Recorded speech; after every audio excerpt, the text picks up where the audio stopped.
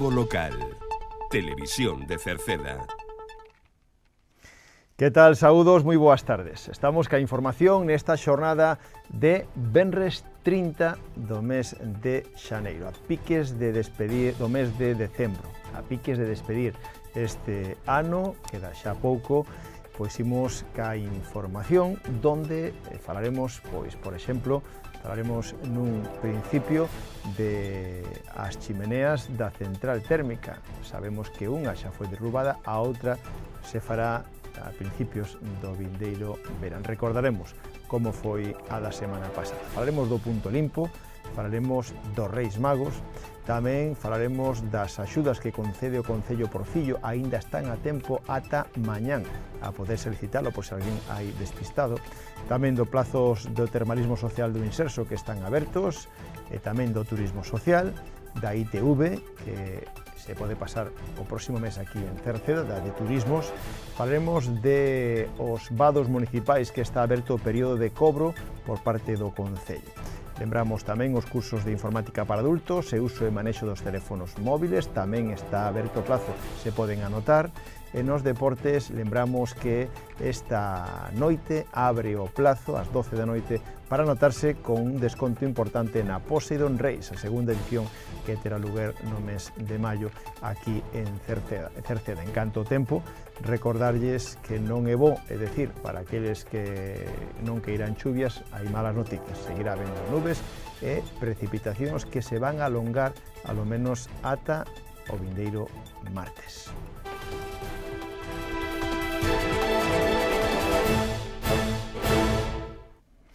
Comenzamos a crónica da xornada que rematará tamén con un saúdo mm, que foi grabado na xornada de onte na charla que tivemos co alcalde de Cerceda, falamos do derrubo de chimeneas. A chimenea que queda da central térmica de Meirama a máis alta será demolido, demolida a principios do mes de febreiro deste próximo ano para, para aínda non se coñece con exactitude o día que será e informaremosllelo a todos vostedes. Lembren que o pasado mércores foi o turno da torre de refrixeración que, eh, en este caso, na que non houbo ningunha alegación presentada para mantela de pé. A empresa eh, está en proceso de desmantelamento, lembren, xa o fixo dende o 2020 foi esta a da central térmica a explosión ou a detonación da chimenea de refrigeración foi controlada totalmente que xenerou moita expectación, moitísima xente se achegou ali e o protocolo, con un perímetro de seguridade de 250 metros e con nove vivendas afectadas, tanto polo modo operandi como polo que significou, eh, significou esta torre, que foi un símbolo para toda unha época presente na paisaxe que se ve dende calquer punto de Cerceda, incluso dende a comarca, tamén, eso foi durante 40 anos, está integrada no escudo municipal.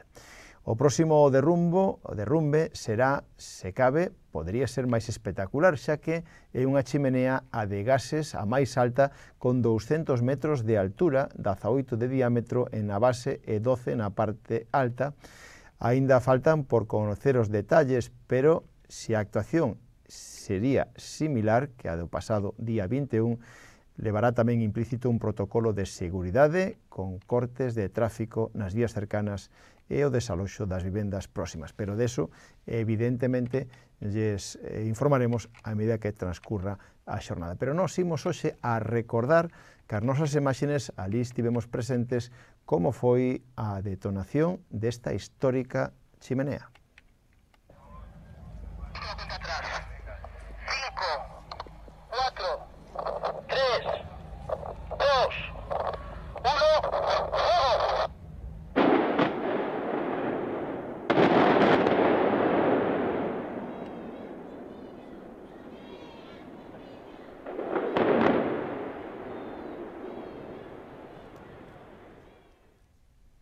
teñen, como se si fora un castelo de área.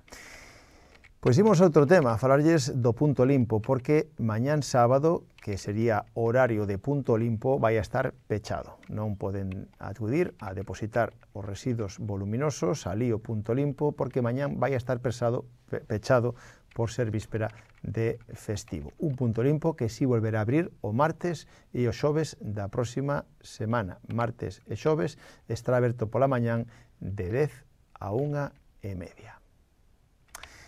E tamén a próxima semana eh, os Reis Magos estarán aquí en Cerceda. Os Reis Magos de Oriente, Melchor, Gaspar e Baltasar estarán o 5 de xaneiro, xoves, ás 5 da tarde no Auditorio Municipal, para que todos aqueles que queiran pois, sacar fotos con eles, falar con eles, visitalos, darlles a carta de última hora ou solicitar regalos de última hora, poderán facelo. Haberá tamén sorpresas para todos, con algún regaliños e tamén seguro que o tradicional, a tradicional roscón de Reyes. Eso será, insistimos, os Reis Magos o xoves 5 de xaneiro, víspera de Reis, estarán ás 5 da tarde no Auditorio Municipal de Cerceda. E un día máis lles insistimos por se alguén aínda non se enterou ou se se esquenceu que ten 300 euros de axuda por fillo nacido ao longo de todo este ano 2022. Decir que ata o día 31, é decir, ata este domingo, se pode solicitar vía electrónica a través de a sede electrónica na página web municipal www.cerceda.org org. O día 31 sería o último día para solicitar esta axuda de 300 euros por fillo nacido aquí en Cerceda ou nacido de, empadroado en Cerceda, ben sexa por nacemento, por adopción ou por acollemento. Os requisitos principais era ese, que este o neno nena empadroado no Concello e alo menos un dos proxenitores tamén ten que estar empadroado no Concello de Cerceda. Insistimos que o plazo remata xa pasado mañá. E tamén recordamos que abriu o plazo para o termalismo social do inserso, que sabemos que hai xente, veciños do Concello, que aproveitan para disfrutar das aguas termais. Pois este programa de termalismo social do inserso ten un plazo para a primeira quenda que xa remata o día 9 do vindeiro mes de xaneiro. Aqueles que queiran ir nas quendas de febreiro a agosto, se queren ir de setembro a decembro do ano que ven, aínda terían de plazo ata o 9 de maio. Poden participar, lembren, no termalismo social de, de, do, de en este caso, termalismo social do inserso, poden participar aquelas persoas que estén xubiladas, por pensionistas, por xubilación, incapacidade, etc. Eh, tamén está aberto o plazo porque non se cubriron as plazas para o turismo social. Se alguén quere, pode solicitar acudir ao, ao turismo social tamén do inserso para as persoas maiores. Para calquera das dúas opcións, teñen que achegarse aos servicios sociais do Concello, están na terceira planta, ou poden pedir cita previa no teléfono 981 68 60 68, sempre polas mañáns. Eh, por outra parte, recordarlles tamén que eh, a partir da, do vindeiro mes de Xaneiro, a ITV de Turismos en Xaneiro se pode pasar aquí en Cerceda. Estarán os xoves 12 de xaneiro, venres 13 e luns 16 de xaneiro. Eses tres días, se ten que vosede pasar a ITV do seu vehículo, pode facelo aquí en Cerceda sin ter que achegarse, por exemplo, a Arteixo. Eh, teñen que pedir cita previa, poden facelo ou ben no teléfono 902 30 90 00 ou se queren a través da páxina web www.sicitv.org. Tamén está aberto o período de cobro para os vados municipais. O Concello de Cerceda comunica aos afectados, os interesados que a, dende a pasada semana ata o luns 16 de xaneiro, o luns 16 de xaneiro sería o último día, está aberto o plazo para pagar as taxas polos vados polos accesos de vehículos a través de beirarrúas. Se si vostede o ten domiciliado, non se preocupe, se lle cargará estes días na súa conta do banco. Se non o ten domiciliado, recibirá no seu domicilio un recibo que no que deberá abonar e informarán donde e como teñen que facer para abonar as taxas polos vados.